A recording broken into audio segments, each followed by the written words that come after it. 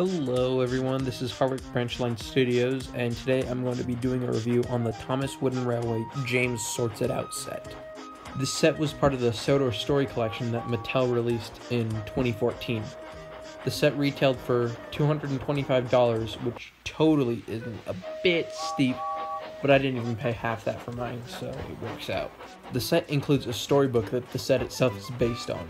The story isn't great, but it's definitely leagues better than Logan and the Big Bull engines in terms of both writing and illustrations. You also get this weird activity sheet that goes with the book's moral about problem solving. The set includes an exclusive paint covered James, Victor, Kevin, and a standard cargo car with a Steamworks cargo block. A surprising addition is Colin the Crane, who was reintroduced specifically for this set. He also comes with a cargo bin and a hazard stripe track piece that can be attached to him. Funny enough, he can't actually reach this track with his foot. You also get some more of these really nice hazard striped straight tracks.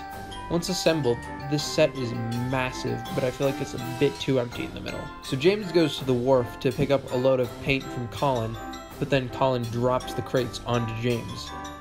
You get this plastic cargo piece that's supposed to represent the broken crates. It fits perfectly onto James's boiler and it sits at an angle, which looks neat. After leaving the wharf, James heads to the steamworks. You basically slide this section of track into the building so that he can be worked on.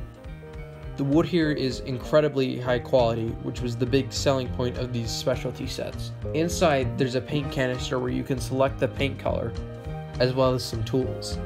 This reminds me of the Abbey Repair Shop from the early 2000s. On the walls, you can also see illustrations of Henry and Emily, who both appear in the Steamworks in the book.